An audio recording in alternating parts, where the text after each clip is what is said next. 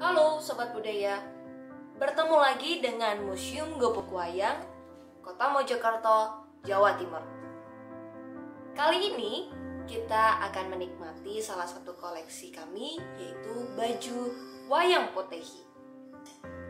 Bisa dilihat baju berwarna putih dengan detail bordir memperindah baju potehi yang umumnya digunakan karakter bangsawan perempuan. Luar biasanya, pakaian ini adalah karya anak bangsa Indonesia. Mari kita bersama melestarikan budaya potehi di Indonesia.